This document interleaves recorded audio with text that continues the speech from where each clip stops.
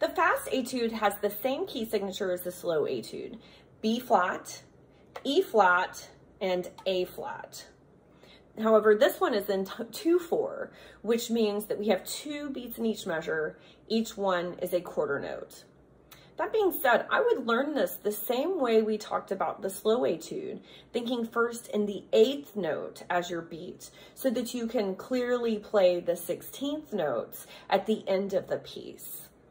If I start with my eighth note at 60, this is how I would play the ending.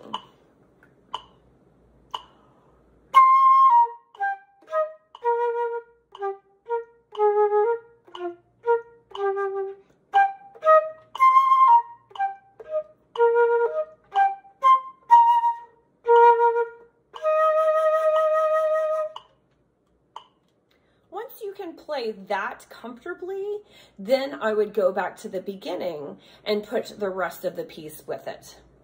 Make sure you are using your round thumb as we have no B flats and B naturals in this entire etude. So there really is no reason to deviate from this thumb key unless of course we're playing C.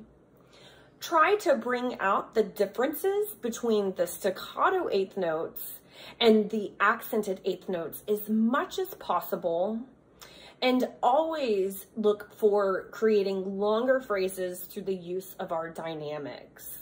The best way to achieve that is actually through slow practice of long tones so that you can learn the subtleties of the embouchure without having to go fast at first.